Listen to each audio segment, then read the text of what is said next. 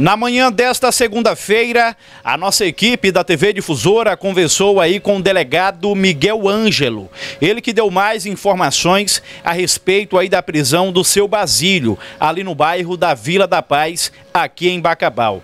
De acordo com informações, o seu Basílio estava aí se masturbando, né, para uma criança de seis anos de idade. E por conta disso, o mesmo acabou sendo preso. E a nossa equipe conversou aí com o delegado que que deu mais informações a respeito desse assunto. A Polícia Militar conduziu na noite de ontem né, um, senhor de uma certa idade já avançada que estaria se masturbando na, nas proximidades da sua residência quando uma criança de 5 anos de idade né, teria passado.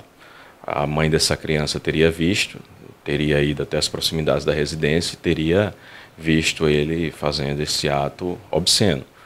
Aí de imediato foi acionada a Polícia Militar, que fez a condução do senhor até a delegacia de polícia. O enquadramento, qual o artigo que foi utilizado, o trabalho que foi utilizado para poder fazer a apresentação dele aqui na cidade? É, diante das peculiaridades do caso, né, é, ele foi autuado pelo crime de importunação sexual, né, em virtude né, de não ter tido um, um contato imediato com a criança, pois, caso contrário, né, ele poderia até mesmo ter sido autuado pelo crime de estupro vulnerável, que não exige um necessário contato. Doutor, ele, o que, que ele falou a respeito desse assunto? Ele confessou ter praticado tal ato para a Polícia Civil? Não, não confessou. Ele nega, né? Ele admitiu que via essa criança passar é, diariamente né, para a casa da avó, mas que nunca chegou perto da criança. E da mesma forma ele negou ter praticado o ato. Nesse tipo de caso, doutor, qual seria a, onde ele seria enquadrado em que nesse caso aí? É, baseado nessas informações? É, ele foi enquadrado no crime de importunação sexual, né? É, em virtude da sua conduta obscena, né? Mas como eu falei, né, se tivesse tido uma proximidade, um contato maior com a criança, ele poderia ter sido, inclusive, autuado pelo crime de estupro de vulnerável. Mas diante das peculiaridades, né, pelo fato de ele estar na sua residência, né, uma certa distância, ele foi autuado por este crime de importunação sexual. As testemunhas lá chegaram a relatar para a gente que não teria sido a primeira vez que ele teria feito esse tal ato.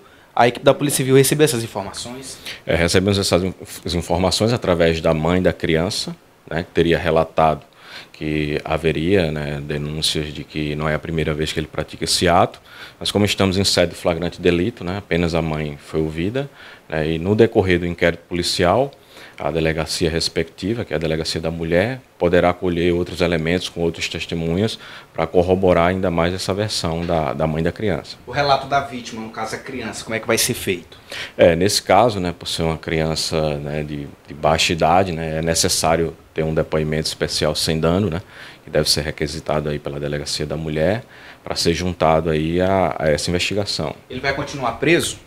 Exatamente. Por ser um crime inafiançável, né, em sede de delegacia de polícia, né, ele vai ser encaminhado para audiência de custódia e lá o, o, magistrado vai decidir se vai converter a prisão dele em preventiva ou se vai conceder liberdade provisória.